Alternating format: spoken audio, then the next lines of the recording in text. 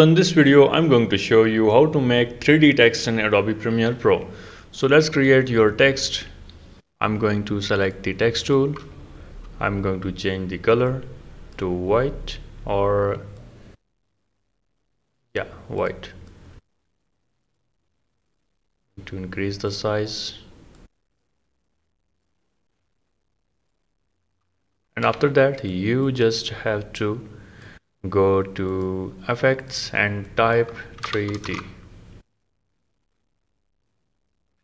and now you have these swivel, tilt and distance image. So let's animate our text in 3d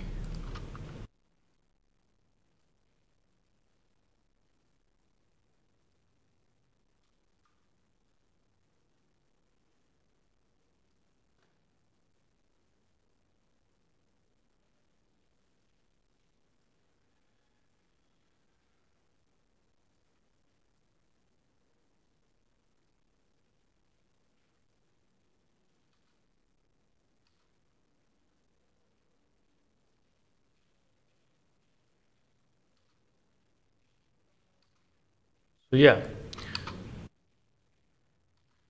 You can spend more time and animate this beautifully but here is the way you can animate your text in 3d